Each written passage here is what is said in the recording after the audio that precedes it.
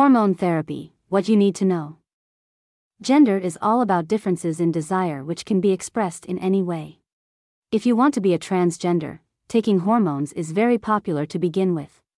Hence, it is important to have a good understanding before using it, as the negative effect of misuse or misconduct is immense. The differences between male and female hormone. Everybody has both male and female hormones in their body.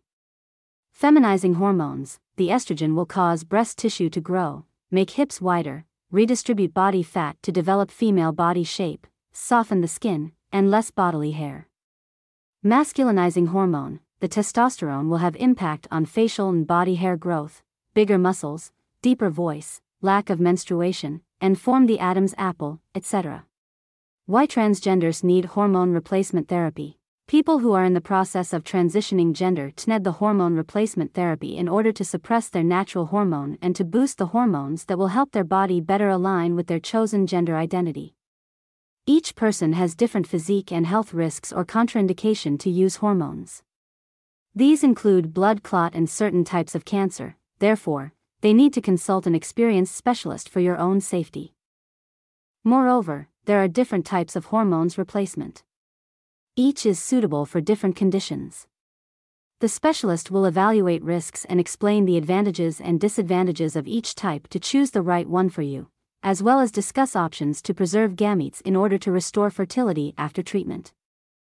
What is transgender hormone therapy? These hormones are identical chemically to those our bodies produce naturally. They are used to shape and form the body of transgender to their desired sex and boost their confidence. Therefore, they not only improve their body but also their mind. How many options for transgender hormone therapy? Mainly, there are two options. Masculinizing hormone is a female to male hormone therapy which adjusts the female assigned physique at birth to male body by using testosterone.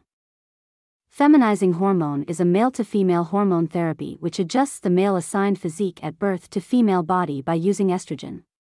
In this case, the transgender person will still have male testicles.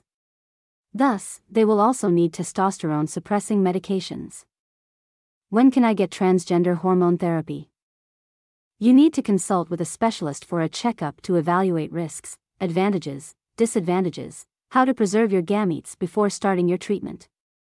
Anyone who wishes to become a transgender can start the treatment as early as they hit puberty.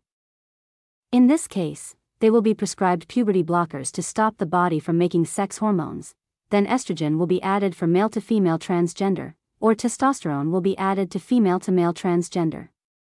This process can start as soon as the person reaches 16 years of age or younger, depending on the specialist's evaluation. Can birth control pills help gender affirmation? No. Many trans people buy birth control pills on their own to try to transgress. The truth is, birth control pills are designed to prevent women from becoming pregnant, reduce menstrual cramps, and manage heavy periods.